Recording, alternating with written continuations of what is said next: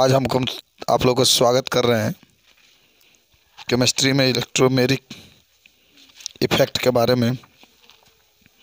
कल हम लोगों ने चर्चा किया था।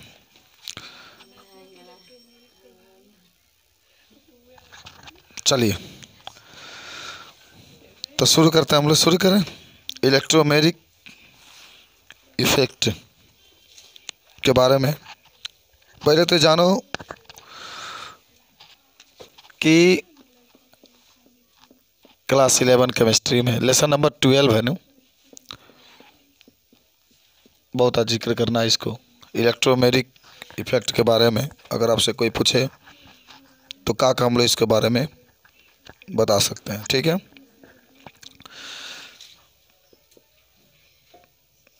इलेक्ट्रो इलेक्ट्रोमेरिक इफ़ेक्ट या प्रभाव?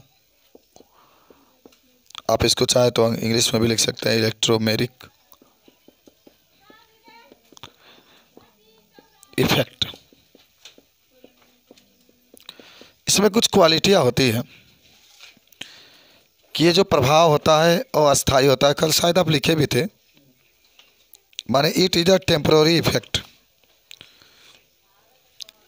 it is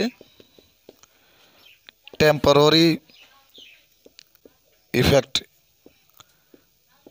यानी यह एक अस्थाई होता है, अपने आप टूट जाता है। दूसरा का चलिए हिंदी में लिख देते हैं।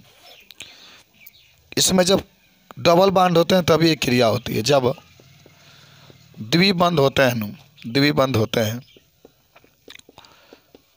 तभी यह प्रभाव देखने को मिलता है।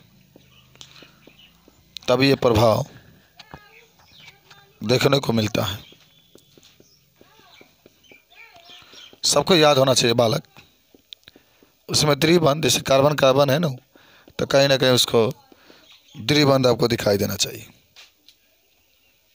और इसमें आक्रमणकारी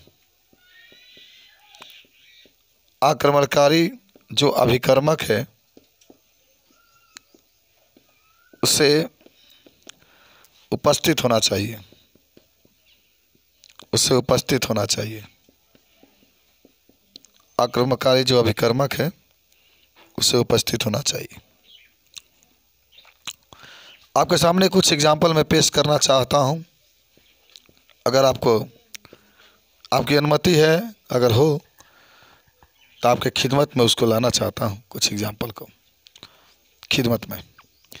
C S two double one C S two है। इसके ऊपर किसी आक्रमणकारी रिएक्टेंट अभिकर्मक अंग्रेज़ी में रिएक्टेंट कहते हैं, उसने इस पर अटैक किया अटैक किया। ये देखो, आक्रमणकारी रिएक्टेंट कह सकते हैं, आक्रमणकारी अभिकर्मक, बहुत ध्यान से आप समझेंगे, बहुत ध्यान से आप समझेंगे, बहुत ध्यान से अटैक करेगा। भाई, ये क्रिया तभी होगी ना जब उसमें बंड पाया जाएगा, ठीक है? जब उसमें बंड उपस्थित होगा, तभी ये क्रिया होती है। बंड उपस्थित नहीं होगा तो क्रिया नहीं होती है। बात समझ में आया? जब यह आक्रमणकारी इसके ऊपर अटैक करेगा, किसके ऊपर अटैक करेगा बाबू?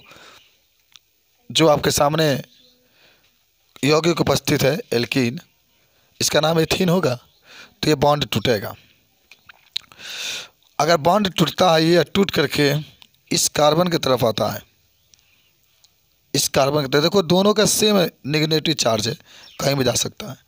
तो जब अगर इसके तरफ़ आएगा तो आपको याद होगा कि जो इलेक्ट्रॉन ग्रहण करता है, उसके ऊपर माइनस का चार्ज आता है और जो इलेक्ट्रॉन को दे देता है, उसके ऊपर प्लस का। देखो, एक बॉन्ड टूट गया है बाबू। दो इलेक्ट्रॉन मिले थे, तब ये बॉन्ड बना था। जो इसको ग्रहण किया तो उसके ऊपर माइनस का चार्ज यानी इसने इलेक्ट्रॉन को ग्रहण किया है तो माइनस का चार्ज इसने इलेक्ट्रॉन को दे दिया, उसके ऊपर प्लस का चार्ज जो दान होता है, जो दान करता है, उसके ऊपर प्लस का चार्ज उपस्थित होता है। किसने? क्यों ये टूट गया बॉन्ड क्योंकि किसी ने इलेक्ट्रोफिलिक इलेक्ट्रोमेरिक जो अभिकर्मक है, जो आक्रमणकारी अभिकर्मक उसने इसके ऊपर आक्रमण किया, आक्रमण करने के बाद जो बॉन्ड होता है, वो टूट गया। इस तरीके से यौगिक मिला। दूसरा बात भी होगी आपकी C S two double one C S two फिर इसमें कोई आक्रमणकारी जो अभिकर्मक है, समझ रहे हैं रिएक्टेंट इसको कह रहे हैं हम लोग। इसने अटैक किया।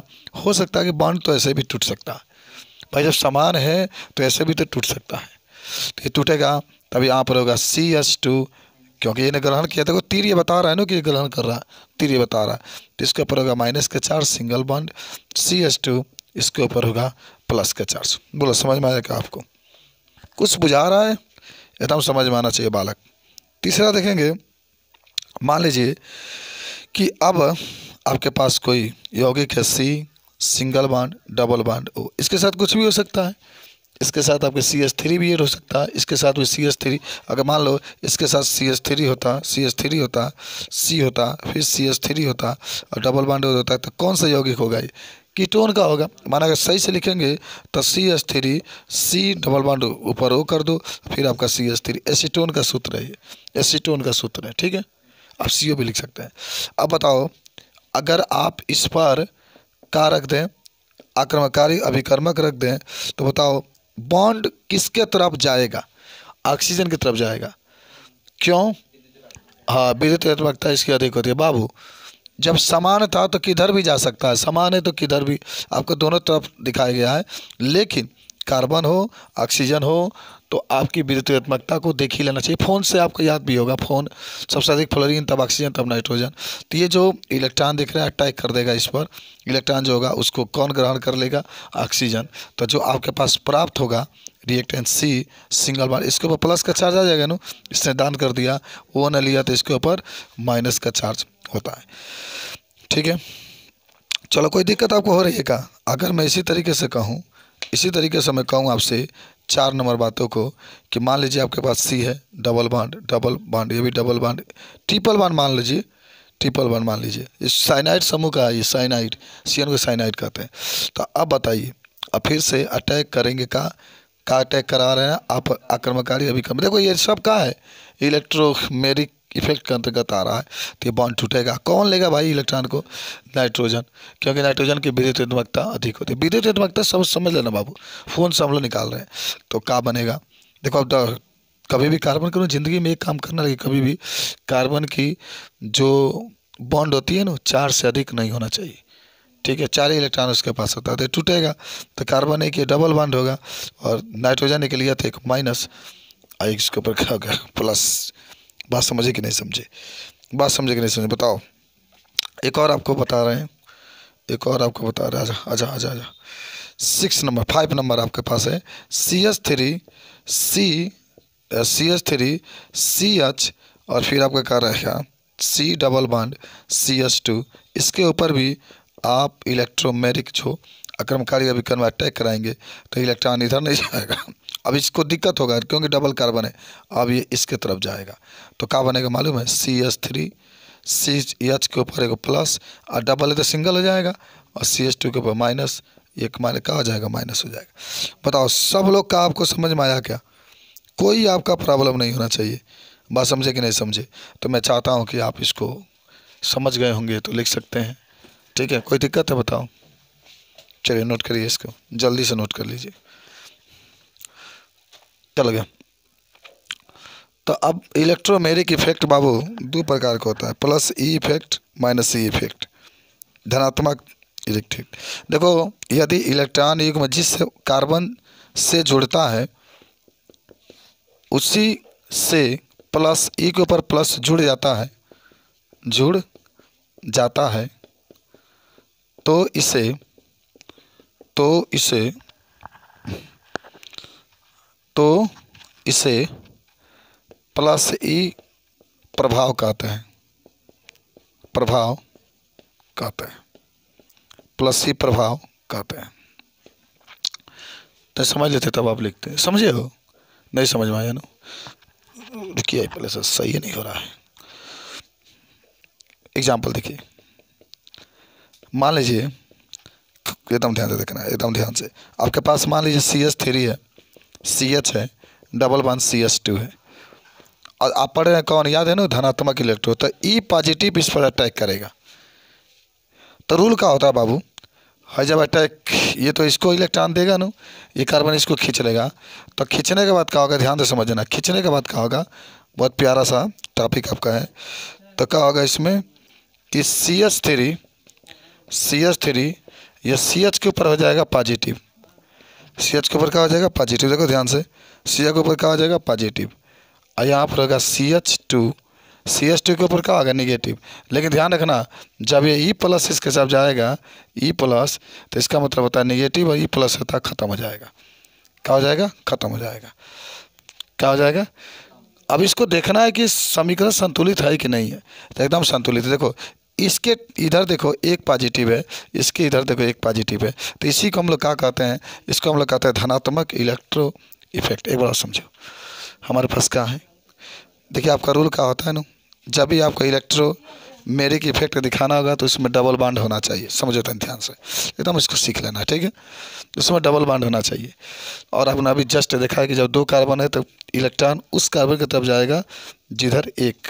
कार्बन उपस्थित होता है। तो ये चला जाएगा। तो जाता है तो आप, आपने देखा कि इसके पीछे वाले कार्बन पर प्लस, और जिसने ग्रहण किया उसके ऊपर माइनस। लेकिन, माइनस है, लेकिन ये तो आपका धनात्मक धनात्मक की बात होगी तो धनात्मक ई प्लस होगा, और इसका रूल क्या कहता है कि हमेशा ही किसके तरफ़ जाएगा? जो माइनस होगा।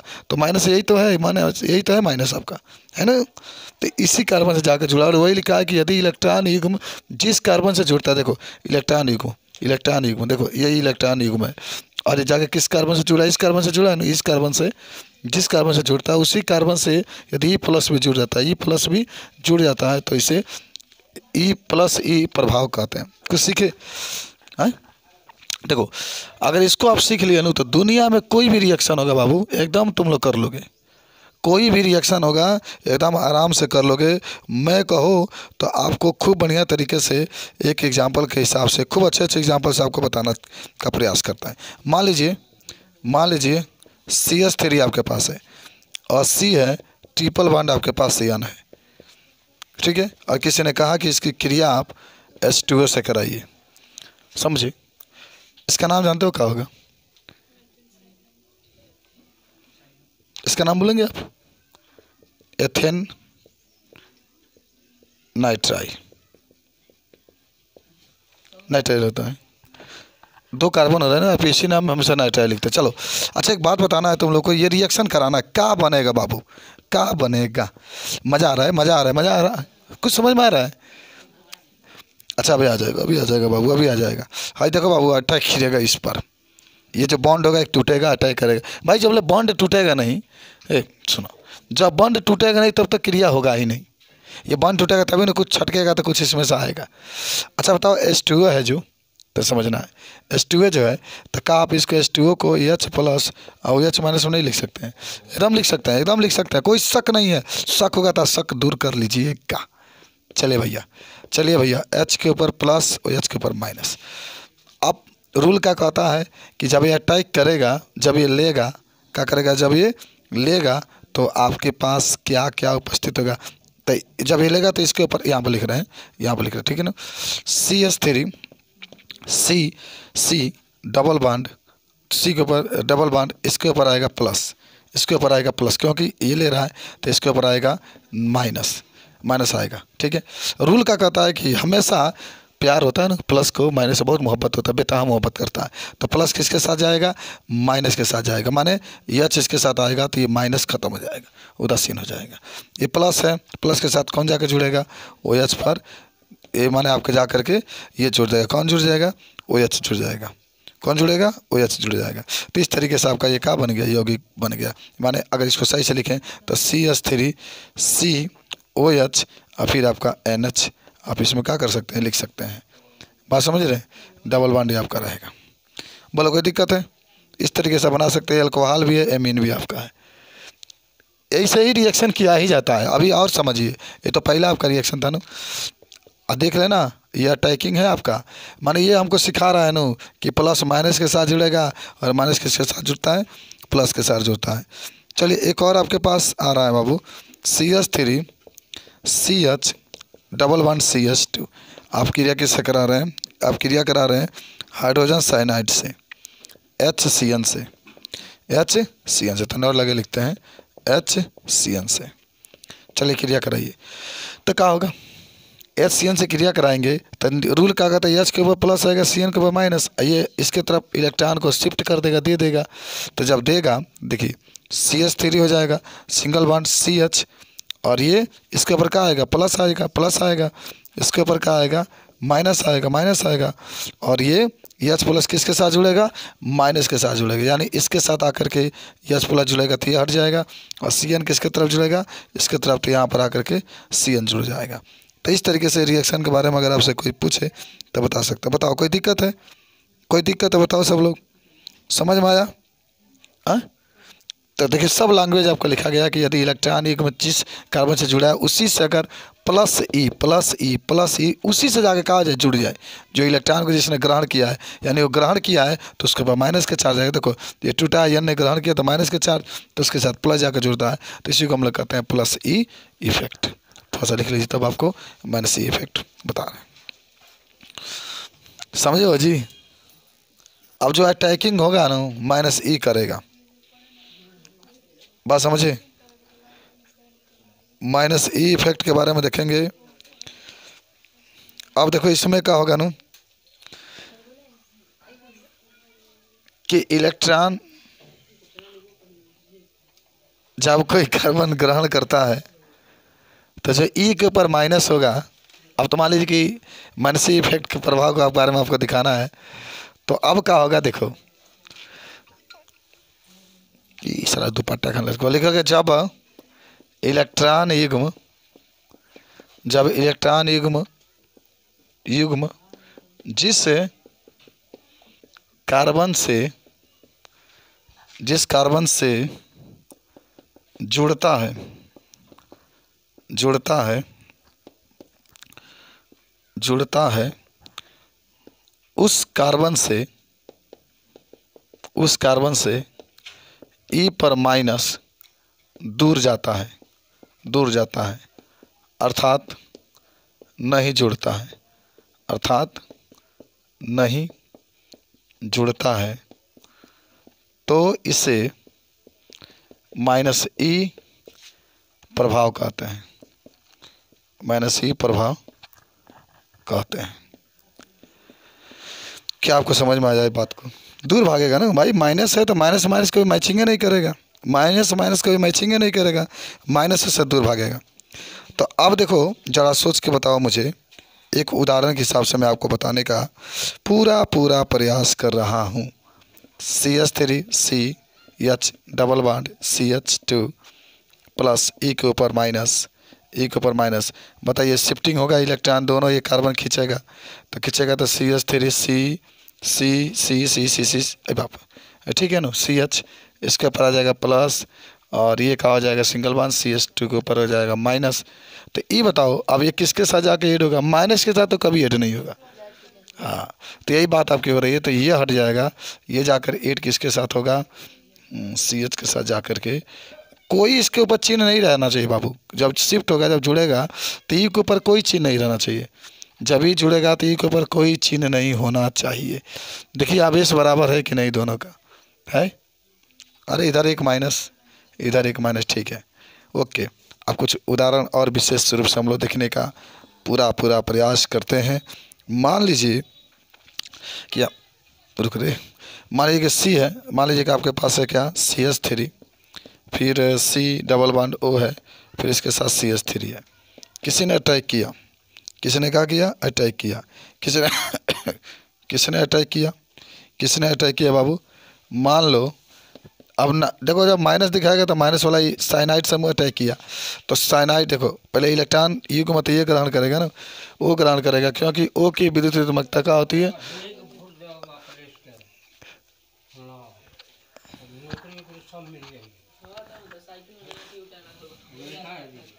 चलो। अच्छा ठीक बा।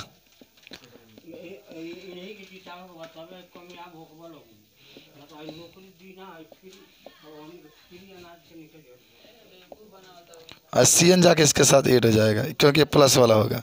तो इसी को हम लोग क्या कहते हैं? कौन इफ़ेक्ट कहेंगे इसको। इसी को कहते हैं माइनस इफ़ेक्ट आपका होगा। बात समझ में आया कि नहीं आया?